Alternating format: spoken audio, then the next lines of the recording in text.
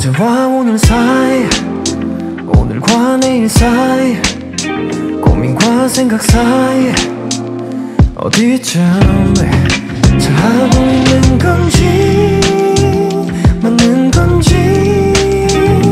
답이 없는 갈림길에 혼자 서서히 다가 행복했던 시간도 버텨냈던 밤들도